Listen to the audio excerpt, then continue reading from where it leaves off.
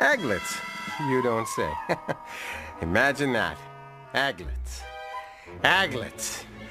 Aglets! Well, you can call them thingies if you really want to.